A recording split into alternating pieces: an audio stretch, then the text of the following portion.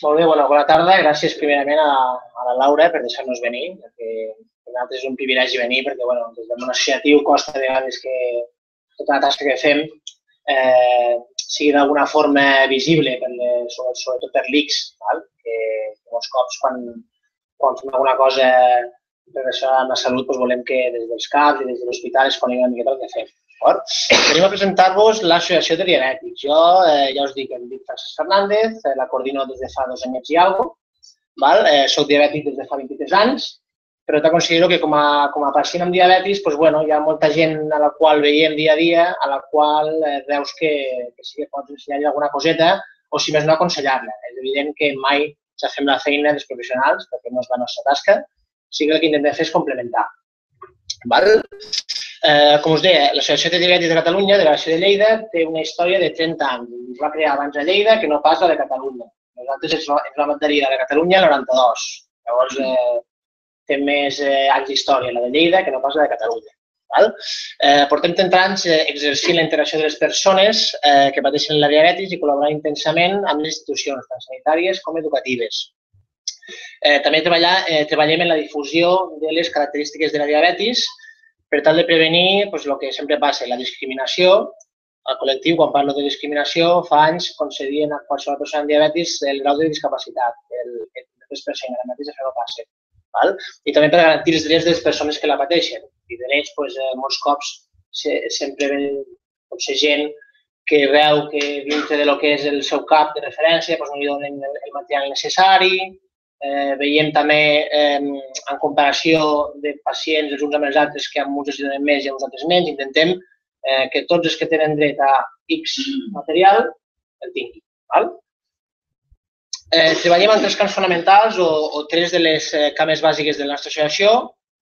Són aquests. Val? Un seria tot relacionat amb el món del diabètic tipus 1, en quant a debuts, la formació que es fa a les escoles, els acompanyaments escolars que també fem, l'educació diabetològica que fem als diabètics tipus 2, després veurem quins, quina problemàtica tenen cada dia, i les, les col·laboracions que fem tant a l'ICS com amb el Departament d'Ensenyament. El camp 2 seria el que fa el Cristian després, que és el servei de dietètica i nutrició. I el camp 3 seria el servei de podologia, val? Eh, preventiva i biomecànica. Val? Perquè aquí està una miqueta desfasada el tema de la quilopòdia, val? però especifiquem que és eh, podologia preventiva i biomecànica del peu. Eh, Camu, atenció als debuts en diabetis tipus 1. Val? He posat una miqueta el mapa conceptual des de que hi ha un diagnòstic mèdic que diu que aquell nen té diabetis. Val? Això comporta una hospitalització de l'infant. Llavors és quan entra l'aula hospitalària que ens avisa. L'aula hospitalària, que és l'escola dintre de l'Arnau, eh, que molts de vosaltres sabreu, però bueno, jo, jo ho dic per a que, per a que estigui clar. Eh, llavors, un cop l'aula hospitalària ens avisa, hi ha un nou debut, coordinadament mirem quina és la situació d'aquell eh, nen. Val? Situació familiar, si són famílies monoparentals, eh, que això influeix molt també en el, en el desenvolupament i en el, en el bon control de la diabetis, val? el tipus de família en el qual eh, aquest nen debuta. Val? I llavors fem l'atenció al debut. Finalment, nosaltres anem cada dijous a l'Arnau de Vilanova, com expliquem ara, setmanalment i coordinadament amb l'hospitalària, anem eh, setmanalment a l'Arnau, cada dijous, el nostre objectiu és donar suport, sobretot moral, a les famílies i eh, més que als nens, als pares, que és els que veiem que tenen més, eh, o veuen un problema més gran al fet de que diguin que el seu nen té diabetis. Val? Eh, un cop rebem l'alta, ens personem al centre educatiu per realitzar la formació diabetològica eh, tant als professors com als monitors de menjador, si ens ho requereixen, i inclús als companys de classe. D'alguna forma normalitzar eh, que és el tindre diabetis com a, com a alumne. I eh, en, en tercer lloc, diguéssim, eh, si és necessari, realitzem el servei d'acompanyament, que és un servei que es fa durant les, les sortides escolars. Molts cops el primer, la primera sortida que es fa després del debut és una mica complicada i els pares tenen por que el nen marxi. Si és un dia encara, però si és de més d'un dia, eh, d'alguna forma mitiguem aquesta por i fem que, no, que tots estiguin tranquils, els professors, pel fet de que tenen un nen que fins fa poc era diabètic ara ho és, i pels pares. Això són les actuacions que han fet l'any 2015. Val? Tenim comptabilitzats 19 debuts, sense escape algun, perquè sobretot els mesos d'estiu, eh, doncs, bueno, potser no hi vas cada dijous, aquest any també hi ha hagut el tema de les obres a l'Arnau, Llavors algun s'ha escapat, però estem comptant sobre uns 20 debuts al 2015. Aquesta tarda comptàvem que el 2014 n'hi van haver de 14 i 15 i el 2013 n'hi van haver uns 10. És a dir, cada any estem creixent pràcticament un 50%. L'ADC amb la formació a les escoles. Eh, el que s'anomena el projecte de, de, la diabetis i escola. Eh, les xerrades de les escoles les fem de la següent manera, que és que l'escola, prèviament, o, és dir, posteriorment a un mail informatiu que nosaltres fem a totes les escoles de Lleida i província, ens demana una xerrada, que generalment també ve donat a que la família diu eh, el vostre alumne que es diu tal ha debutat com a diabètic i des de l'associació m'han proposat que podem vindre a fer una xerrada. Nosaltres hi anem val? i posteriorment passem una valoració d'aquesta xerrada perquè eh, a final d'any fem una memòria juntament amb el Departament d'Ensenyament, en el qual eh, posem totes les intervencions que es fan, totes les xerrades que es fan i una miqueta la valoració que el professorat ens ha donat. Val? Eh, aquest projecte es fa gràcies a la subvenció que ens atorga el Departament de Salut de la Generalitat de Catalunya, eh, que és el que assumeix el cost dels formadors. Val? És a dir, cada formador que va a una escola a fer una xerrada, el que paga aquest formador és la Generalitat mitjançant una subvenció. Val? A les escoles es tracten dels següents aspectes. Eh, definició del que és tindre diabetis, actuació enfront als desequilibris, com poden ser hipoglucèmies i hiperglucèmies, les nocions bàsiques d'una dieta equilibrada, que molts cops eh, la dieta equilibrada d'una persona amb diabetis no és diferent d'una dieta equilibrada d'una persona d'un nen que no ho és. Val? Eh, va fer una a una escola de Tàrrega i realment la dieta del diabètic del que no ho era era pràcticament igual. Val? Llavors també expliquem eh, els aparells que els nens porten i com fer els controls de glucèmia, funcionament de la insulina, és a dir, per què serveix i les seves aplicacions, taller pràctic de maneig de la insulina i glucòmetre, és a dir, deixem provar els professors i que veguin com es fa la prova del sucre, com es punxa el glucagó, com es punxa la insulina, que si en algun cas algun professor ho ha de fer. Donem suport a les famílies i resolem tots els dubtes que també poden tenir. Eh, els acompanyaments. La de Lleida amb els acompanyaments de sortides escolars d'alumnes amb diabètics. El mateix, l'escola demana un monitor al Departament d'Ensenyament. El Departament d'Ensenyament es posa en contacte amb nosaltres, nosaltres busquem un monitor que per les característiques del nen, l'edat, pues, pugui assumir aquell acompanyament i finalment avisem tant a l'escola com a la família com al mateix departament de qui anirà, amb nom, cognoms, telèfon, val? perquè estiguin informats de qui serà responsable aquell dia durant aquella sortida. Val? Aquest servei de monitoratge, de la mateixa manera que el projecte de diabetis a escola ve subvencionat per la Generalitat, aquest es fa gràcies al Departament d'Ensenyament, que fa un gran esforç per aconseguir que cap nen es quedi a casa, que fa més de 10 anys que ens ajuda i que és el que paga el monitor. Val? Eh, com he explicat abans, l'escola fa la petició al departament, el departament demana un monitor a l'associació, que s'encarrega de la seva formació, i d'aquesta manera el monitor es fa càrrec de l'acompanyament en garanties. En acabar, el departament paga el monitor a través de l'escola. Atenció i educació diabetològica a tipus 2. Això ens hi trobem cada dia. Val? Respecte a les persones amb diabetis tipus 2 que venen a la nostra entitat, ens trobem en que tenen tres problemes fonamentals. No saben què és una ració, una ració d'hidrats de carboni, quins aliments els fan pujar i quins no. Hi ha molta gent gran que pensa que les llegums no fan pujar el sucre i que els pesos, com són verds, tampoc.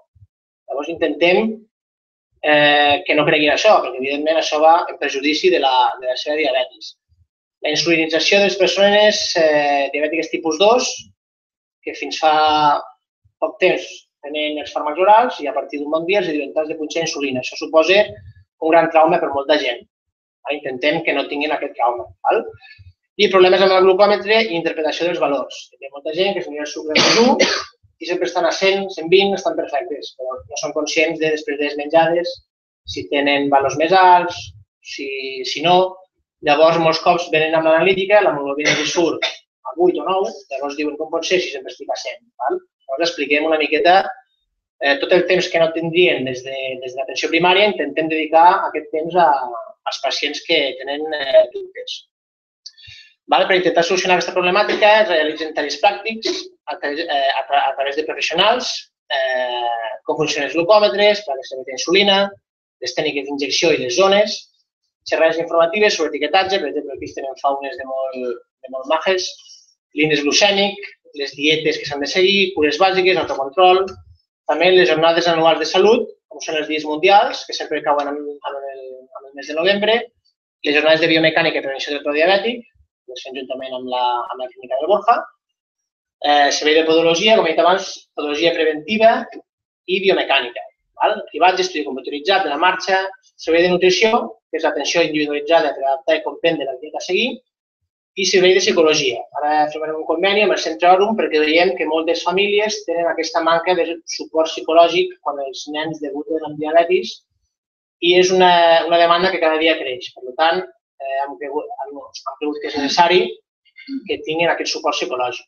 Val? Sobretot, ja, ja us dic, els pares de les famílies. Molts cops sembla que ho porten fantàsticament bé, però quan els hi, quan els hi toques una miqueta aquella ferida, ràpid, ràpid eh, tornen a treure totes les, les sensacions que van tenir en el moment del debut.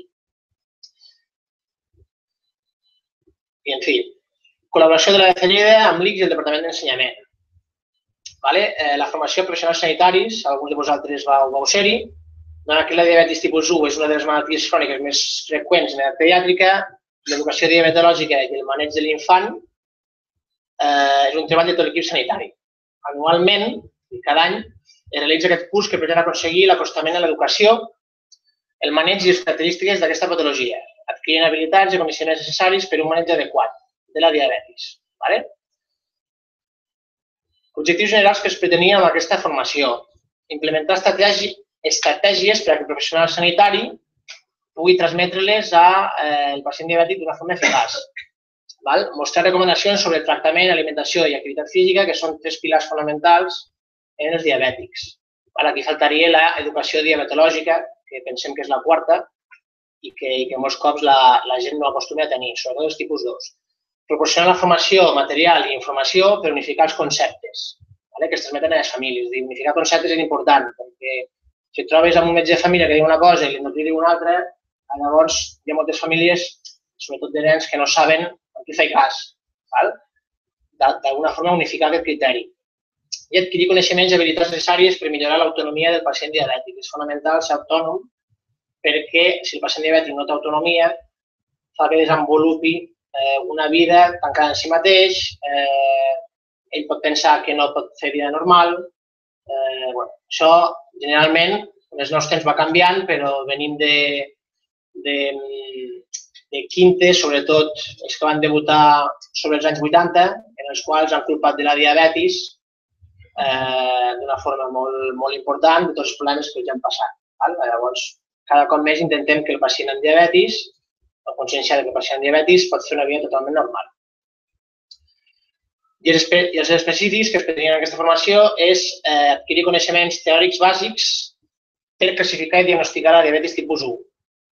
Val? Intentar que si ve alguna persona amb, amb polifàgia, polidipsia i poliúria, el, el, el metge de qualsevol cap sàpigui que aquests símptomes eh, són possiblement l'inici d'una diabetis. Val? Identificar i tractar correctament les possibles complicacions agudes i cròniques, val? Eh, quan la diabetis mal, doncs molts cops es desconeix quines complicacions podem tenir, però són complicacions prou importants. Conèixer els objectius terapèutics que cal assolir val? o identificar situacions que determinen que aquests objectius no, no es compleixin. Val?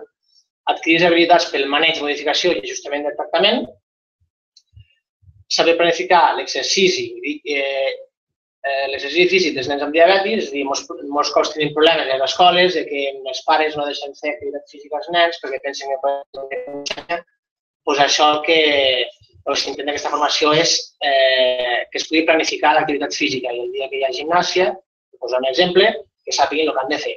Val? I, finalment, poder proporcionar educació sanitària als nens amb diabetis, a les seves famílies, amb el material adient.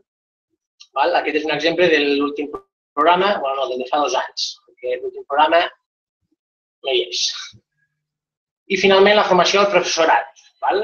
De la mateixa manera que, pel eh, que la formació destinada o dedicada als professionals sanitaris, eh, el professorat es busca una miqueta el mateix. Val?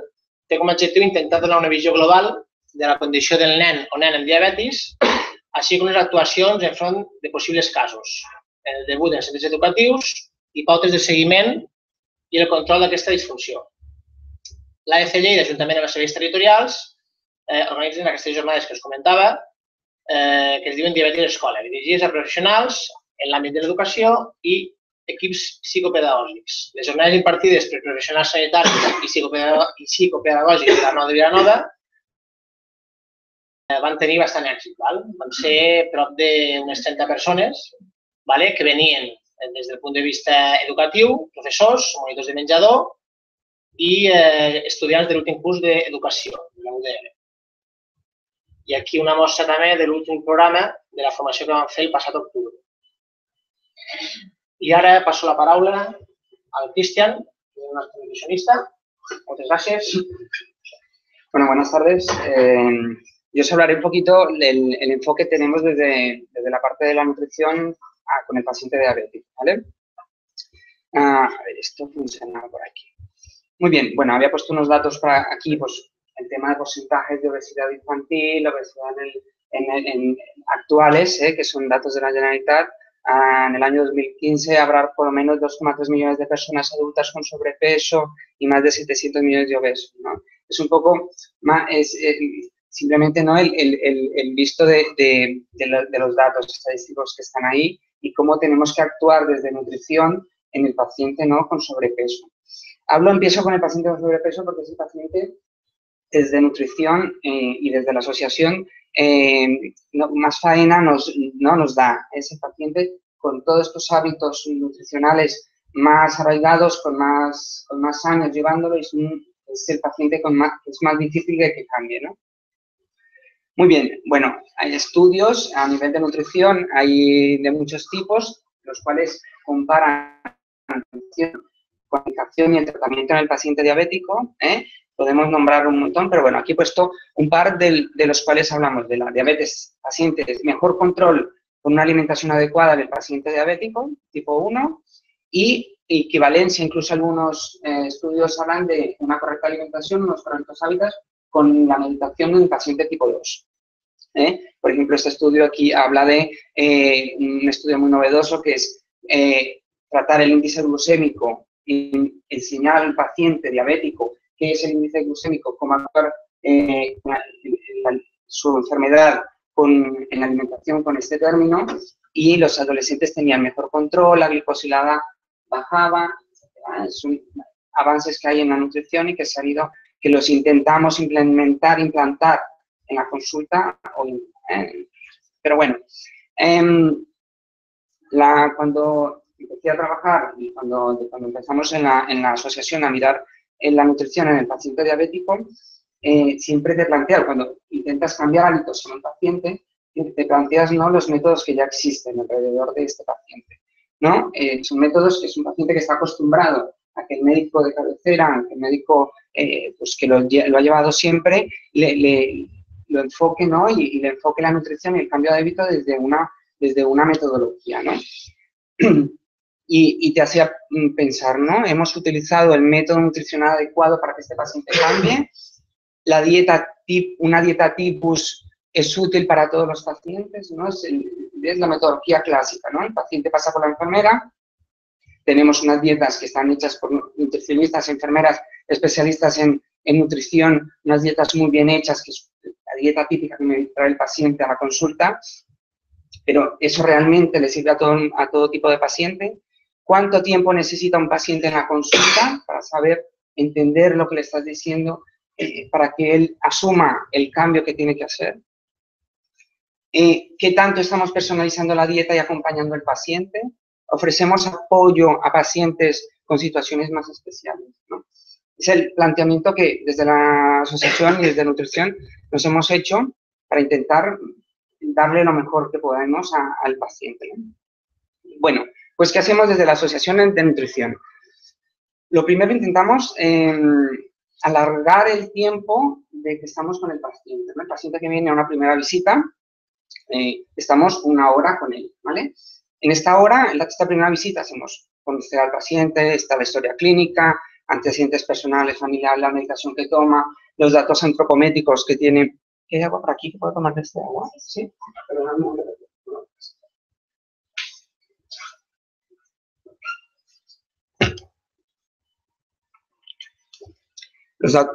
los, datos antropométricos del paciente, qué actividad física, analítica, si tiene, un registro dietético y de hábitos alimentarios para actuar con el paciente en qué situación está. Una vez hacemos esta primera fase ¿no? de la primera visita, continuamos con aspectos un poco más que más le preocupa al paciente, ¿no? Y qué es lo que quizá me, ayuda o nos ayuda a enfocar la pauta que tendrá de nutrición.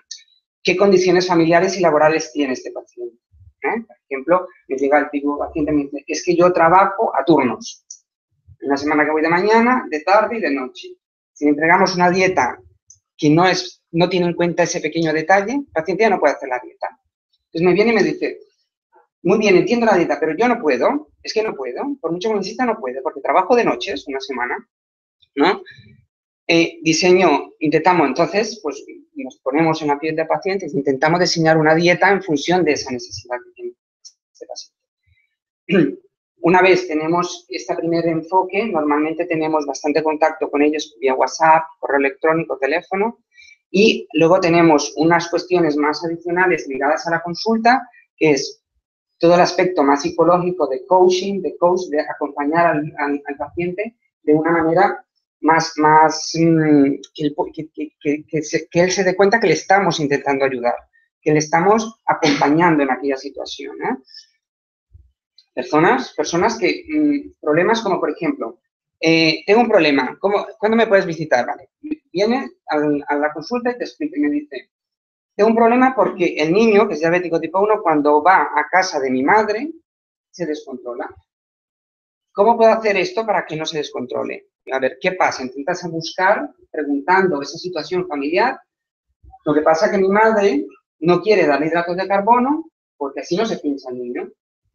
Entonces, bueno, pues ahora trae la madre y entonces explicamos a su madre que es la diabetes, porque es importante los hidratos de carbono, el picharse poder empezar, ¿vale? Eh, este tipo de cosas en, la, asociación intentamos tenerlas en cuenta, porque lo que hemos visto es que si no, no hay control, ¿no? Entonces, eh, yo estoy formado en coaching nutricional, tenemos una psicóloga que puede acceder a temas más depresivos, más cuestiones, ¿no? De pacientes que le podemos ayudar. Muy bien. En las visitas de seguimiento estamos normalmente entre media hora, 45 minutos con el paciente y básicamente aquí lo que hacemos es controles antropométricos, mirar que el paciente vaya evolucionando correctamente y mirar que el objetivo que hemos planteado en la primera visita se vaya cumpliendo. ¿no? Estos objetivos que siempre marcamos, pues intentemos que estén, ¿no? Sobre todo, tiene que haber control de la adherencia a ese tratamiento que hemos impuesto, esa pauta, por medio de registros fotográficos, registro dietético. Estas fotos son fotos reales ¿eh? de pacientes que me traen ¿eh? Intentamos mirar una pauta concreta que el paciente se agarra de hacerla. Bueno, pues a partir de esta semana de hacer fotos de tus comidas. Cuando las tengas servidas, haces una foto. Entonces me traen, a veces me las mandan por WhatsApp o por correo electrónico, me van llegando todo el día fotos y historias, pero sí, sí, ya os enseñaría el móvil. Pero, pero bueno, pues yo las voy viendo, ¿no? Cuando tengo tiempo y cuando voy, voy con, con historias. Entonces, pues yo lo veo y le digo, le pregunto, ¿qué, a ver cómo has hecho esto de aquí y qué, qué, le has puesto, cuántas cucharadas de aceite le has puesto, por ejemplo, ¿no?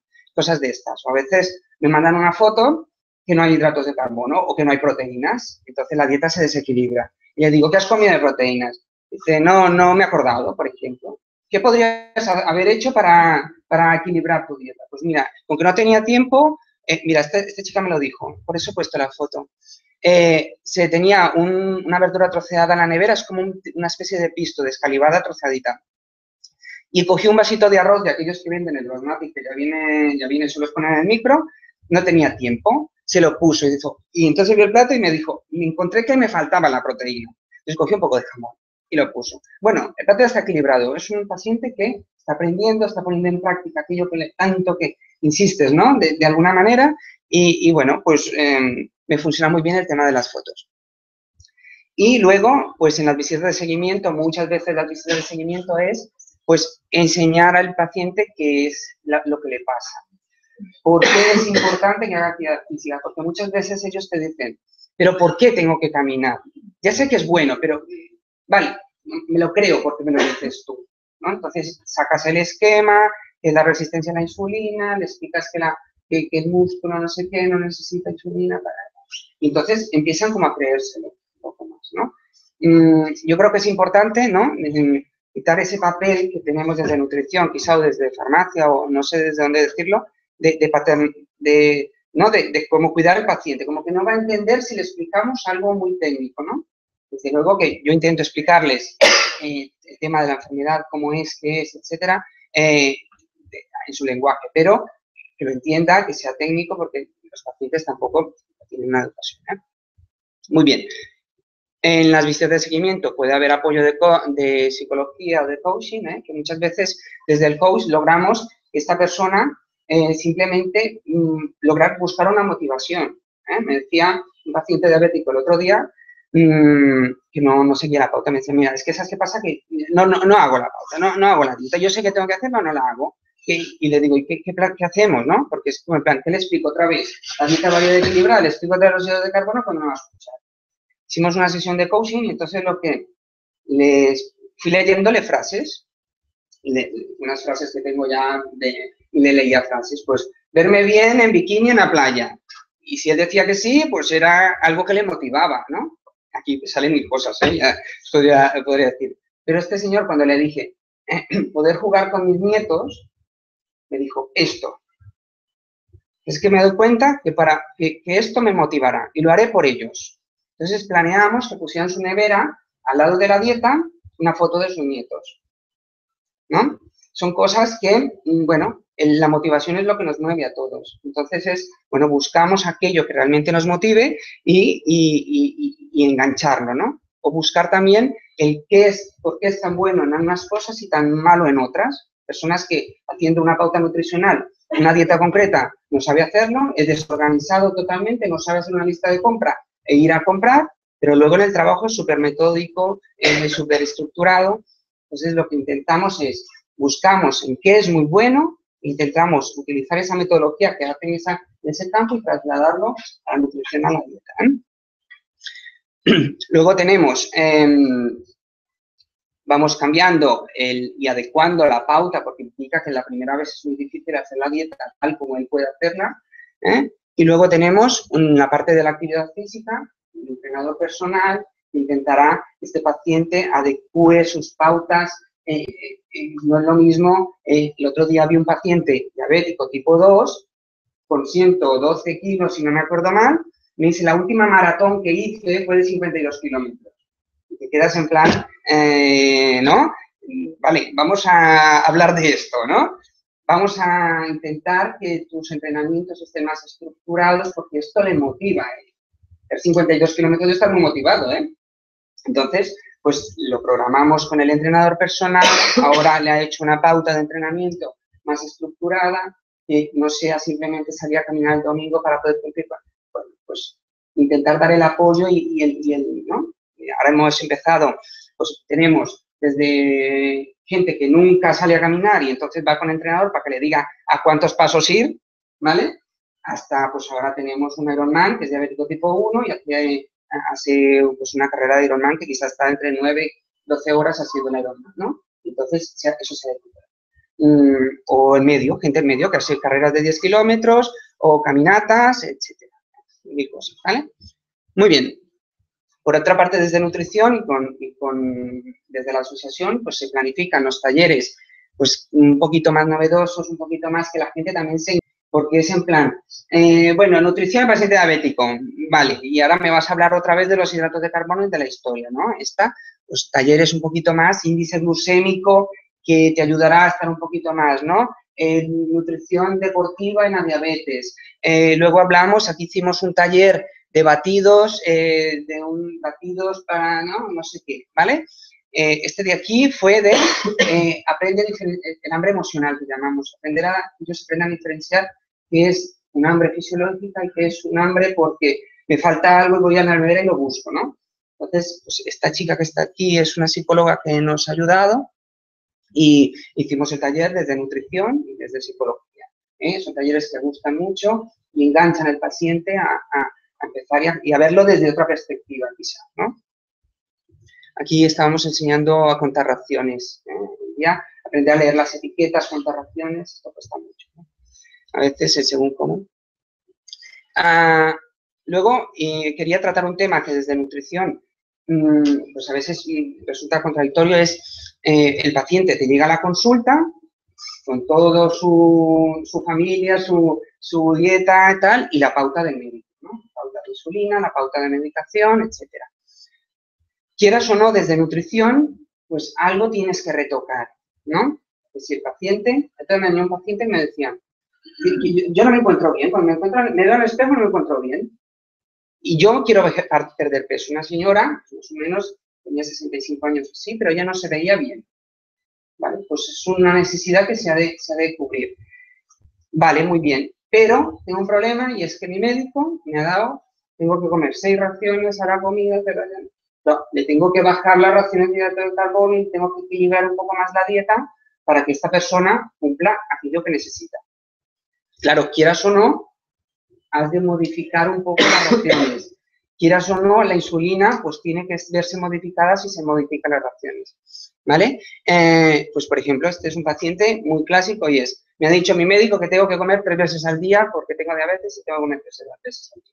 Viene con la pauta de tres veces al día porque su médico le ha dicho así, médico de cabecera o quien sea. Ah, muy bien, pero yo no aguanto porque tengo mucha ansiedad entre, entre comidas y empiezo a picotear y entonces esta persona picoteaba comidas ricas en grasa, latas de sardina, latas de atún, bueno, ya sabía que eso no alteraba la glucemia, pero claro, el peso continuaba subiendo. Entonces, ¿cómo solucionamos esto? Bueno, pues ponemos un bocadillo ahí en medio y entonces se soluciona la historia. ¿Pero qué pasa con el bocadillo? Pues teníamos de modificar causas, ¿no? Entonces, este es un tema que a veces cómo tenemos que actuar desde la consulta. ¿eh? Tenemos que comunicarlo al médico, el paciente tiene que ser lo suficientemente autónomo para decidirlo. Realmente estamos interfiriendo en una pauta médica que realmente es importante. Un día me decía un paciente, me ha dicho mi médico, sobre todo la enfermera del médico, que no coma frutas en medio, entre comidas, porque eso me afecta al azúcar. Y le, y le pensé, muy bien, me parece muy bien. ¿Y entonces qué comes? Bueno, pues me como unas galletas integrales. ¿Vale? Este tipo de cosas, ¿no? Quieras o no, interfieres, ¿no? Con lo que ha dicho el médico. Luego viene y, entonces el paciente, ha hecho nutricionista que sí que puedo comer fruta, porque claro, yo le digo que se coma una fruta en lugar de la galleta. Y entonces, ¿no? Ese, ese enfrentamiento, ¿no? Esa, esa, esa, ese, esa cuestión. Eh, podemos interferir en la pauta. Muchas veces no podemos desde nutrición, yo lo intento hablar con todos los profesionales, todos los médicos, a veces es pues, difícil, todos estamos guiados, pues, a veces es complicado, ¿no? Mm, ¿Vale? Y luego el paciente deportista. El paciente deportista es el paciente que desde la consulta, yo soy nutricionista deportivo, es mi doctorado en especialidades en nutrición deportiva, y, y, entonces es el paciente que más le tengo que modificar las pautas. Es un paciente, paciente que no hace una carrera, una maratón, es que a veces la venta se debe reducir hasta no sé cuánto y a veces la rápido, bueno, bueno, se tiene que modificar porque si no este paciente no me aguanta la carrera, ¿no? Y el otro día me vino un paciente y me dijo, me ha dicho la endocrina, en este caso, em, que por qué había comido hidratos de carbono si fuera insulina. Había, se había comido una o dos raciones de hidratos de carbono sin ponerse insulina. Bueno, no se tuvo en cuenta que este paciente había hecho una carrera de 20 kilómetros y de tal, no sé qué, y después al final de la noche me hace un sopor, me va, me hacer una hipo nocturna, hay que modificarlo de alguna manera. Estas dos diapositivas es un poco por, desde nutrición, intentamos respetar la pauta médica porque es lo que prioriza, pero claro, el paciente tiene unas necesidades eh, que, que, que, me las explican a mí y me vienen con, el, con, el, con la historia, ¿no? Aquí, entonces intentamos ser conservadores, pero a veces es complicado, ¿vale? Yo siempre digo eso, ¿no? ¿Quién se debe adaptar, el paciente a la pauta o la pauta al paciente, ¿no? A la vida del paciente. A veces es complicado. Muy bien, este es mi paciente.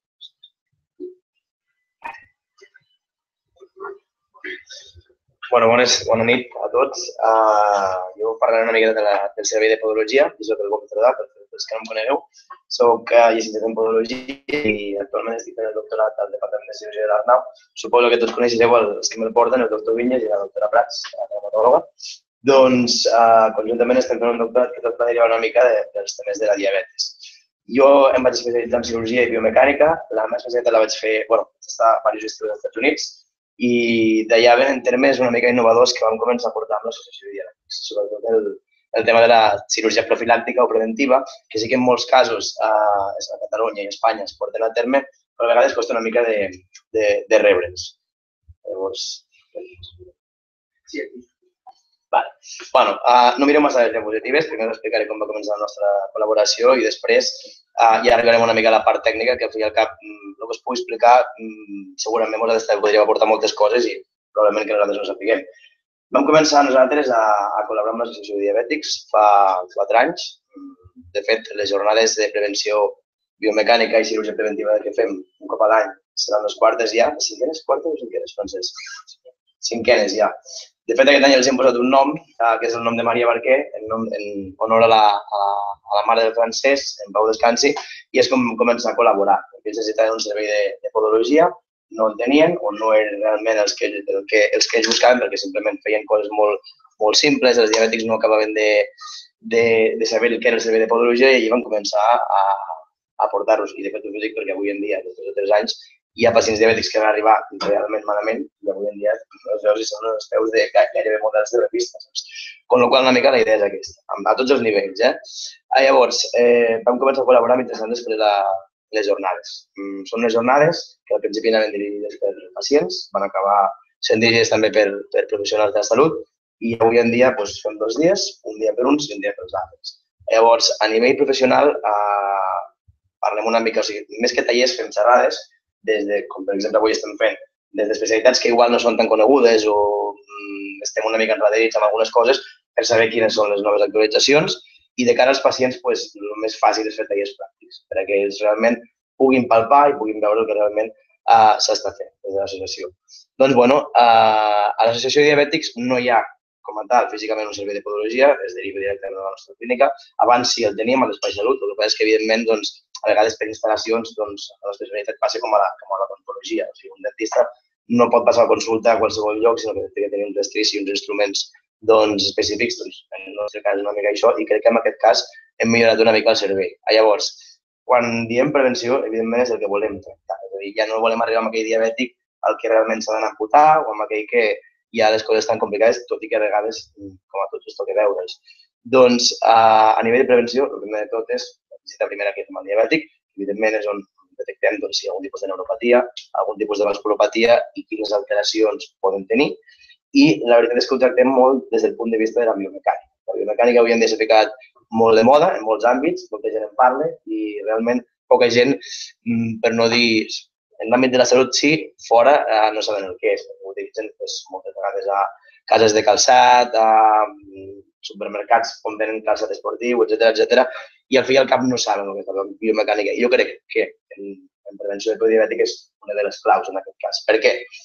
Uh, tots el veu en aquest cas és la part del cos que retorna la càrrega i evidentment aquesta càrrega té que anar repartida. Si aquesta càrrega no va ben repartida, doncs es produeixen sobrecàrregues que apareixen en forma, evidentment, de dolors, moltes vegades de dureses i callositats que en el cas dels diabètics es poden complicar i a vegades en deformitats que també es poden complicar. I aquí és on anirem a introduir una mica tot el més. Evidentment, si el peu no està ben col·locat, moltes patologies, no dic totes, perquè no és així, però moltes patologies, mecànicament parlant, poden venir del peu i pujar a pedal, turmell, genoll, uh, maluc i esquena, en aquest cas. Llavors, centrant una mica en els diabètics, on interfereix? Doncs, com ja sabeu, una de les complicacions que més ens trobem eh, en el diabètic i en la sobretot és en la, neuropatia diabètica. En nens no tant, eh, en adults ja ens hi comencem a trobar una mica més i en gent gran sobretot. Llavors, la neuropatia que fa que no arribi la sensibilitat, ja ho sabeu, la sensibilitat no arriba, o sigui, realment no tenim sensibilitat i en casos com gent que té una sobrecàrrega mecànica o una deformitat, doncs això pot arribar a conseqüències fatals. És el que anomenem, per exemple, un peu de risc.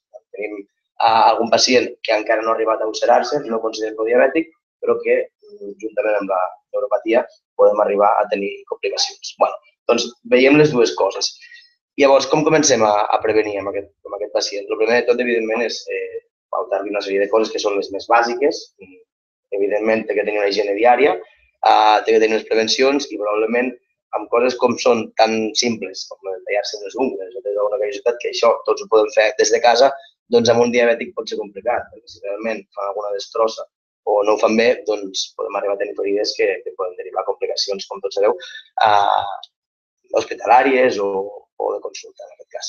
Llavors, eh, primer és això, o sigui, tinguin realment conscienciar-los de que tenen de que el peu és una part important, igual que altres parts del cos que s'han de tractar, que ells tinguin una higiene personal i autals segons cada pacient, doncs veure'ls doncs, un mes, cada mes i mig, tres mesos, en el millor dels casos cada sis mesos. Dic en el millor perquè, per exemple, són pacients, nens o uh, gent que no té cap tipus de problema, que més o menys crec que s'hauria d'anar revisant.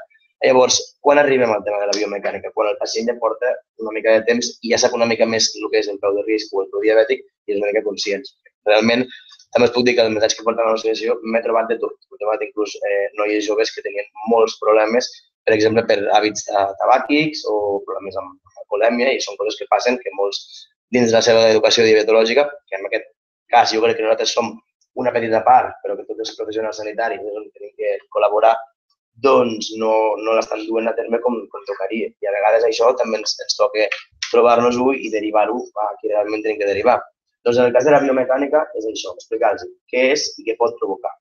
Llavors, moltes vegades, evidentment, mm, el tractament conservador que més s'utilitza, i dic conservador perquè en aquest cas eh, és, jo crec que en aquest cas pot funcionar millor, és la plantilla. No sempre és així, a vegades poden derivar altres professionals, de fisioterapeutes, de osteòpates, inclús eh, poden, poden modificar la manera de caminar. Jo no sóc dels que penso que una plantilla ho soluciona tot, perquè hi ha moltes vegades que no. Però en el cas de, per exemple, úlceres i callositats que puguin ser complicades, doncs el que hem de fer és descàrrega. I moltes vegades, en aquest cas, una plantilla feta més com Déu mana ho fa. Uh, biomecànica també comporta el que parlàvem abans. És un terme que suposo que després, no ho sé, eh, si hi ha alguna pregunta, jo me la van col·locar bastant als Estats Units. Em vaig quedar una mica uh, bueno, mm, sorprès quan començàvem allà a fer cirurgies, ja deien ells, cirurgia profilàctica, que nosaltres que parlem una mica més espanyol, i aquí pues, cirurgia preventiva. Per què? Perquè, eh, segons el que parlaven, i això suposo que esteu d'acord, doncs moltes vegades eh, el risc que assumim és més baix que els problemes que després poden tenir els pacients. Sí que és veritat que operar un pacient diabètic a vegades pot comportar problemes, però en aquest cas el benefici que pot tenir sent operat aquest pacient doncs, mm, és, és més, diguéssim, és, és, és millor operar-lo que no operar-lo. Llavors, de què us parlo? Després veureu patologies, però per exemple, amb nens ens hi trobem, amb adults també, ungles clavades, que poden provocar moltes vegades granulomes piogènics. Jo en aquests casos mm, m'he trobat pacients que han sigut operats per altres, per, o sigui, per altra gent o el que sigui, eh, que han arribat a ser portats per culpa d'una infecció amb una ungla. És el més senzill que hi ha al món i això és el que s'hauria de prevenir des de casa, no? Doncs això és el que anomenem una mica cirurgia preventiva. Si veiem el típic pacient que hi ha moltes vegades, que, o sigui, que fa 10 anys que se claven les ungles, doncs home, possiblement hauríem de pensar amb la cirurgia com a alternativa, perquè aquest home a la llarga no pot tenir problemes. Parlo també de deformitats. Per exemple, jo patologies com els raïdons, com molts metatarsals, etc etc, que després veureu alguna foto, doncs directament, si no hi ha un dolor, mai recomanaria la cirurgia en aquest cas. Però eh, si realment sent diabètic això veiem que es pot complicar perquè és una zona que, és susceptible a ser operada, eh, ulcerada, perdó, doncs també seria una, una cosa a tenir en compte. A mi això és el que parlàvem una miqueta de, de cirurgia preventiva. Llavors us puc dir que des del temps que portem fent-ho, les primeres jornades van ser purament biomecànica i higiene preventiva, que podríem parlar del que deia el Francesc abans, que és la quiropòdia, que és, diguéssim, el servei més bàsic que es pot, que es pot donar. I després ja vam començar una mica, suposo que també mm, ja veieu que molt gran no sóc, amb la qual també per, per condició d'edat, doncs, eh, m'he anat formant tot el que fent. També han col·laborat altres professionals a les jornades, vull dir, no, no és només peu, peu, peu, sinó que hem tingut doncs, des d'endocrins, pediatres algun cop, hem tingut farmacèutics i nutricionistes. I crec que és una mica, doncs, a, encarat a tot això, a, a treballar com a equip, com a, com a fer un, diguéssim, una, un equip multidisciplinar i de fet aquest any havíem parlat, encara no, no sabem dates ni res d'això, però que probablement a les, a les jornades eh, la intenció seria fer una part de professionals on hi hagi una taula rodona portada per diferents especialistes de diferents, de diferents uh, especialitats dins, dins l'àmbit de salut i altra, doncs, el mateix, com sempre, incorporar nous tallers de cara als pacients, perquè crec que és important mm, que ells palpin i els professionals també en aquest cas. Vale? Llavors, bueno, explicat una mica com funciona, mm, us passo quatre diapositives, no, no entraré a comentar-les massa, però perquè vegueu, si el que comentava abans és biomecànica uh, del peu, moviments del peu, morfologia i alteracions de la resta de la variable. Factors que jo crec que importen més en el cas de que puguis tenir patologia del peu és l'edat, òbviament. Jo crec que més en nens moltes vegades, pel fet de que uh, doncs, els ossos estan formant i podem corregir. i sobretot en, en gent molt gran perquè la condició física, evidentment, doncs, eh, també afecta. Pes sobrecàrrega mecànica, és el que parlàvem abans, amb l'activitat física i les alteracions sistèmiques, en aquest cas estem parlant eh, bàsicament de la, de la diabetes. De risc eh, seria aquell peu que per una diversos trastorns o malalties sistèmiques del nostre organisme presenta un elevat risc de patir lesions. Normalment totes aquestes conseqüències es deriven d'una neuropatia i o vasculopatia perifèrica que van associades a la majoria de casos a malalties i factors de risc com la diabetes, alcoholisme i tabac, que a vegades van associats. Estem, per tant, davant d'uns peus que requereixen unes cures diàries, prevenció, curació i actuacions en el camp de la biomecànica i ecologia. Seria, diguéssim, el més bàsic, que és el que, que comentàvem abans. Totes aquestes dades eh, hem contrastades amb altres, per exemple, l'última xerrada que l'Associació de Diabètics va ser a la, a la farmàcia Santa, juntament amb, una, amb, una, amb un laboratori de Madrid que havien desenvolupat una cosa, no sé si no ens de parlar del neuropat, que és un parche del dia del peu i amb la sudoració es pot saber si el pacient doncs té neuropatia o no. Clar, jo el primer que li vaig dir al Francesc quan ens el van presentar vaig dir, ostres, si això realment funciona és la panacea, perquè vull dir, ens, ens evitaríem molts, moltes altres coses de cara al cribatge.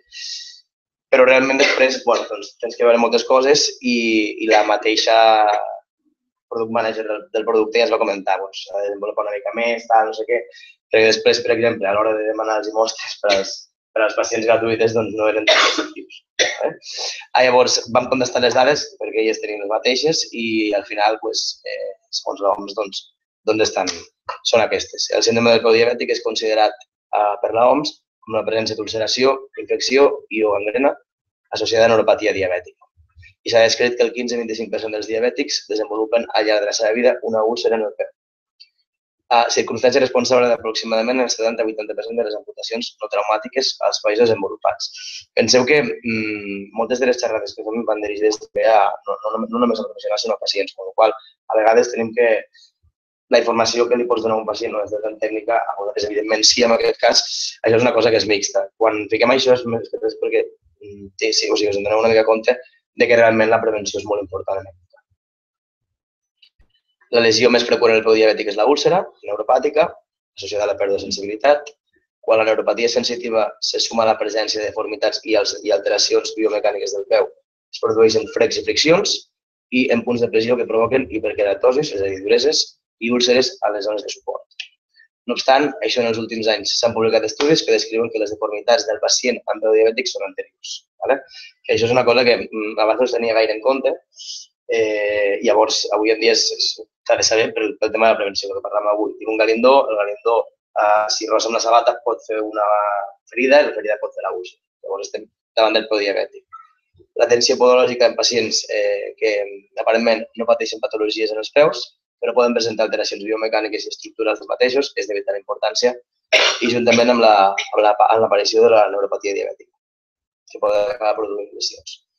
Consells per la vida quotidiana, que és el que des de l'associació sempre, a més, tenim productes que el que intentem molt de cara a molts visitadors mèdics que venen i tot això, doncs ja no és, eh, és que tinguem mostres o que ens paguen congressos i coses així, sinó és que, per exemple, el producte que tenen, vull dir, us parlo, per exemple, del mepentol llet, perquè a nivell hospitalari sí que es tracta, sí que s'utilitza molt, i altres, doncs, com cremes eh, específiques per diabètics, com poden ser l'ureadin, l'ureadin podos, que ho recomano més per diabètics, perquè bàsicament s'han molestat a fer-ho per diabètics.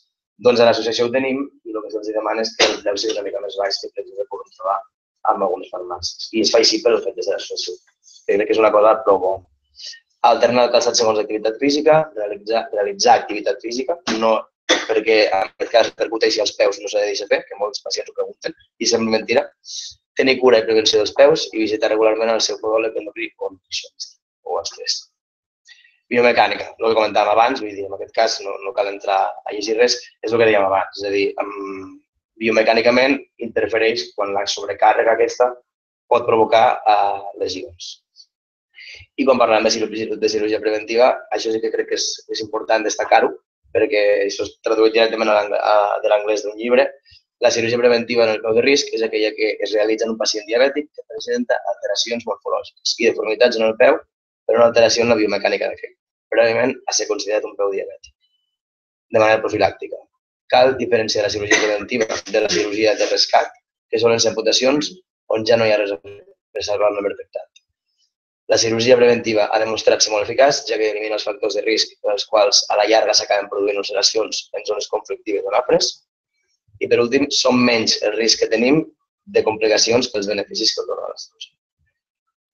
Principals patologies que podeu trobar són les de qualsevol pacient, però en aquest cas amb els, amb els pacients. L'esplodor calcari, per exemple, crec que no és una patologia que amb un diabètic canvi molt la cosa, però en aquest cas doncs sí metatarsalgies que provoquen tallos desplantars també, i és la més comú de totes, perquè és quan realment eh, és un, ens trobem el 80% de les úlceres. Eh, exostosis interdigitals que provoquen callositats, suposo que tots sabeu, el típic, eh, la típica callositat que surt entre els dits, que molts pacients es queixen i es pensen que allò voy a la farmàcia, me dan el, com es diu ara, el, el compit i se'n va, doncs no. Moltes vegades és la, la reacció de l'os, la neoformació òssia que està provocant aquesta Uh, I per últim, és, per últim, ungles encarnades mm, i fongs, ungles encarnades és el que més la cirurgia preventiva que crec que és més, és més normal per les infeccions que hi ha i els dits en urpa que poden provocar també a la vegada friccions en el passat. Aquí teniu, només us n'he ficat una perquè en teníem diverses, eh, amb cirurgia oberta i amb cirurgia mínima incisió. Com veieu, la úlcera aquesta que hi havia, uh, és, bueno, hi havia un dolor agut, uh, perdó, dolor agut o crònic en la planta del peu, aparició per sobrecàrrega i aquí doncs, el que vam fer és una, una estotomia de Weil, que és retrasar el metatarsià i dorsiflexionar. La veritat és que allò al cap d'un mes i mig i la, com veieu, la, la, la úlcera ha desaparegut, però és que la caiosa també. I és, sempre ja us dic, eh, dir, és, en aquest cas, amb aquest pacient, doncs, se li va fer de tot, si plantilles, eh, descàrregues durant molt temps, no tancava o tancava i després es tornava a reobrir, suposo que tots es trobeu casos d'així també, i vam tenir que acudir com a, o sigui, que recorre com a últim cas a, a la cirurgia. Això seria el mateix, però per cirurgia de mínima incisió. Mitjançant fluoroscopi i amb altres tècniques, doncs, doncs es fa el mateix. El que passa és que mm, això és com tot. O sigui, hi ha gent que és d'una escola i gent que és de l'altra. Uh, ja no entraré tampoc a jutjar si una és millor o l'altra, però seria una mica el mateix. I crec que és important perquè amb un diabètic possiblement la, la cirurgia mínima incisió uh, aniria millor més que res perquè no obres tant i no pots provocar. Realment ja. Us he ficat l'exemple d'una encarnada. Això és una nena diabètica de l'associació, de més, la vam operar fa un any i mig. I, com veieu, allí no és que no hi hagi ungla. Realment eh, n'hi ha, però la carn està sobrepassant l'ungla en aquest cas. Llavors, se li va fer una reconstrucció de la zona del costat i, evidentment, la, la ungla va deixar de clavar-se. Ara la nena pues, fa de tot i no se li clava l'ungla des de fa temps. A vegades pot haver recidives, però crec que segons la tècnica, o sigui, mmm, en casos de, de cirurgia ungueal, podeu trobar 46-50 tècniques diferents. Això què vol dir? Que fàcilment a vegades uh, cap és efectiva del tot. Llavors, evidentment pot haver-hi recidives, però jo crec que contra, en aquests casos, de si elimines matriu ungueal i, la, i el tros que es clava, doncs probablement no es torni a clavar mai més. Però en aquest cas, ja us dic, amb nens ho hem practicat mm, quan realment pots, hi arribes perquè és un problema greu i els solventa bastant. Més que tallar l'ungleta i que al cap d'un temps se li pugui se li pugui arribar a clavar. Que ja us dic, no és la primera opció mai. Sempre la primera opció és treure'ls i que no els torni a passar. Si els torna a passar, això. Hi ha gent, per exemple, que això ho trobareu, uh, sobretot els pediatres, que us trobareu que pues, algun ens li clava l'ungla els posen un cotonet a davall. Sí i no, jo no en soc partidari. Per què? Perquè desenganxes l'ungla i pots provocar infeccions com, per exemple, i a la llarga pot ser pitjor, en aquest cas. Bueno, valoració peric postquirúrgica, i amb això ja, ja acabem és de vital importància en una valoració prequirúrgica elaborar un estudi biomecànic exhaustiu. Nosaltres, l'estudi, sigui prequirúrgic eh, o no prequirúrgic, dura sempre una hora. Es mira el pacient amb sedestació estètica i dinàmica. I a partir d'allà, doncs, o si el pacient és operat, o plantilles, o derivar al professional que faci falta. Però l'estudi biomecànic és una gran eina de diagnòstic, considero. Així com també és un dels factors principals en la valoració, en la valoració postquirúrgica l'ús de suports plantars o plantilles personalitzades mínimament durant un any després de la intervenció. En molts casos, mm, per exemple, galindons, jo crec que és, és important, perquè si el galindó, sí que és veritat que hi ha un component genètic, és veritat que hi ha un component doncs, de que el calçat no és l'adequat, però moltes vegades és perquè el peu no està al lloc. Llavors, si, poses, o sigui, si realment un galindó és curt perquè el peu prone o valguitza massa, si el poses al lloc, doncs mm, fàcilment durant aquesta, durant aquesta formació del callo ossi, doncs puguis evitar que es torni a produir. Recordem que el peu és l'estructura anatòmica que suporta tot el pes i les deformitats produïdes per una alteració en la via mecànica són produïdes entre d'altres fenòmens. Aquí és més o menys el que fem, és una part, un estudi en estàtica, és el que veiem. Uh, ja us dic, les plataformes de pressions és una gran eina, però al fi i al cap no diuen res que, que, que un no pugui diagnosticar. És un bon suport visual de cara al pacient i a vegades de cara a nosaltres pues, per reparticions de, de pes, d'un peu a l'altre, de si pot arribar a tenir alguna petita dismetria postural o el que sigui. I ja està. Moltes gràcies per tot i